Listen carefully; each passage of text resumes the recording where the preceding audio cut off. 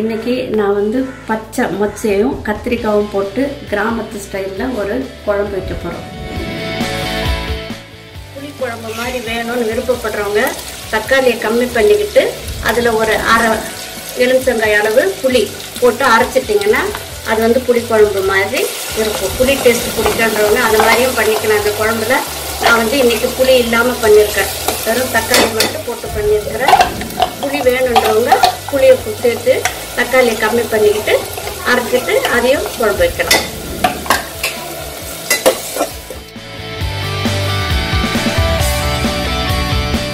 அதுக்கு தேவையான பொருட்கள் இங்கே வச்சுருக்கிறேன். அதை நல்லா பார்ப்போம்.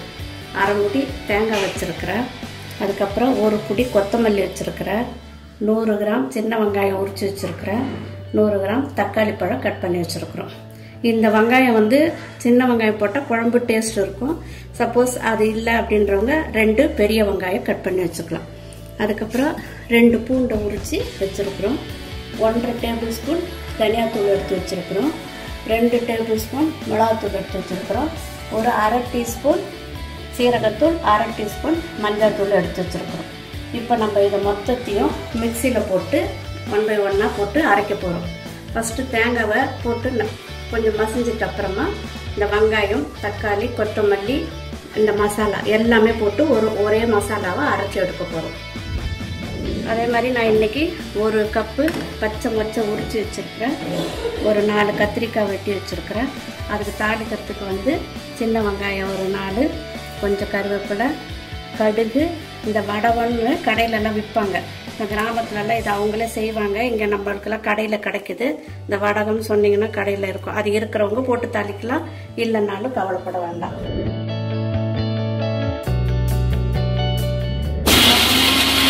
தேங்காய் இந்த அளவுக்கு நைஸான அப்புறமா நம்ம மசாலாலாம் போட்டுக்கலாம். இது வந்து ஆர்டர் பிரகாரம் அப்படின்றதெல்லாம் இல்லை. இது மொத்தமும் நம்ம போட்டு அரைக்கணும். அதனால் அவங்கவுங்க மிக்ஸி எந்தெந்த அளவுக்கு கொள்ளுதோ மொத்தமாகவும் போட்டு அரைச்சிக்கலாம் சின்னதாக ஜார் வச்சுருந்தீங்கன்னா இதை போட்டுட்டு அப்புறம் அதை போட்டு எண்ணெய் ஒன்றா போட்டு கலந்து போகிறது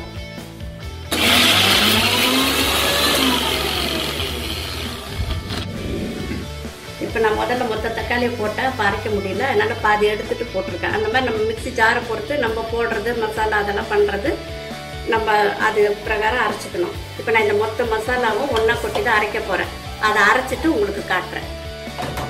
இப்போ நான் தேங்காவும் தக்காளியும் மட்டும் இந்த மாதிரி நல்ல நைஸாக அரைச்சி எடுத்துருக்குறேன். இப்போ நம்ம இதை ஒரு பாத்திரத்தில் எடுத்துக்கிட்டு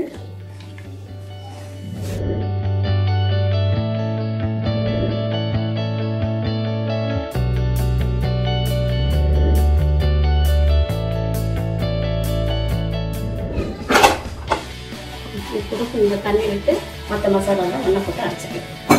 அரைச்சிட்டு கரெக்டாக. அதுக்கப்புறம் இந்த மற்ற மசாலா வெங்காயம் கொத்தமல்லி தக்காளி பூண்டு அது மொத்தம் தனியாக அரைச்சிருக்கோம். இது வந்து ஏற்கனவே தேங்காய் தக் இது அரைச்சி வச்சுருக்கோம். இது எல்லாமே ஒன்றா போட்டு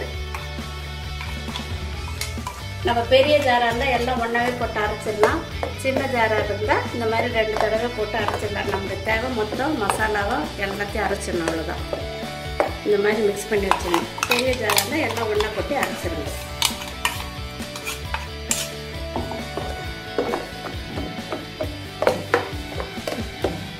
இந்த மாதிரி கலந்து விட்டுடுங்க. இப்போ நம்ம அடுத்தது குழம்புக்கு ரெடி பண்ண போகிறோம் குழம்பு பண்ண போகலாம் வாங்க.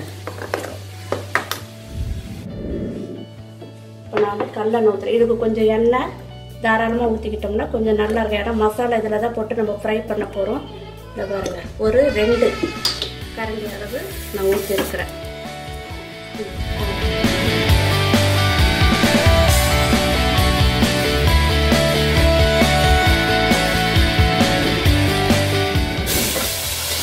இருக்கிறேன் அது நல்லா வதங்கணும். ரொம்ப பொன்னிறம்லாம் வதங்கினாலும் இல்லை ஓரளவுக்கு வதங்கினா போதும். அளவுக்கு வெங்காயம் வதங்கிடுச்சு இந்த வதங்கினவங்க நம்ம இந்த அரைச்சி வச்சுருக்கிற அந்த மசாலாவை இப்போ அதில் போட்டு வதக்கணும்.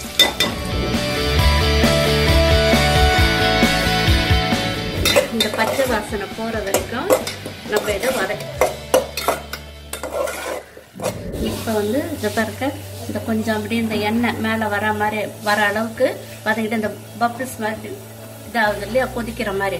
அந்த ஸ்டேஜ் வந்தால் அதுக்கப்புறம் நம்ம எந்த காய்கறி போட கத்திரிக்காய் போடலாம் முள்ளங்கி போடலாம் முருங்கைக்காய் போடலாம் கொச்சக்கட்டை உருளைக்கிழங்கு போட்டு வைக்கலாம். இப்போ நான் இந்த மொச்சையும் கத்திரிக்காவும் அதில் போட்டு அந்த மசாலாவோட ரெண்டு வதக்கு வதக்கணும்.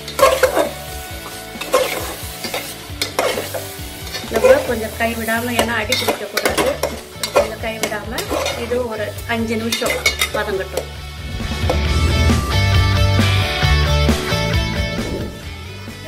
போட்டுட்டு ஒரு வதக்கு வதக்கிட்டு குழம்பு கொதிக்கிறதுக்கு தேவையான அளவு தண்ணி அந்த காய் எல்லாம் இப்போ வேகணும் மச்சக்கொட்டையும் கத்திரிக்காயும் வேகணும். அந்த தண்ணி ஊற்றி நம்ம கொதிக்க விட்டால் குழம்பு முடிஞ்சுது.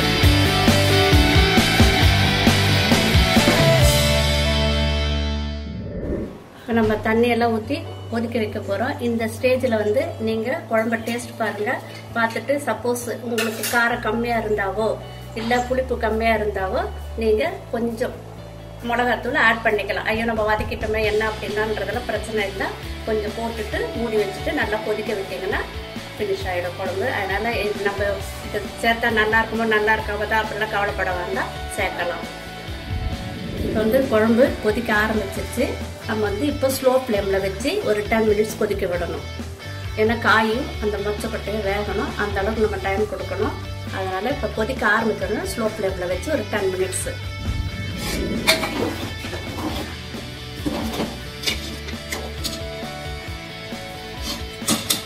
காய் வெந்துச்சுதான்னு பாருங்கள் வேகலைன்னா இன்னும் கொஞ்சம் டைம் கொடுத்து வேக வச்சுட்டு வெந்துட்ட அப்புறமா ஆஃப் பண்ணணும் அவ்வளோதான்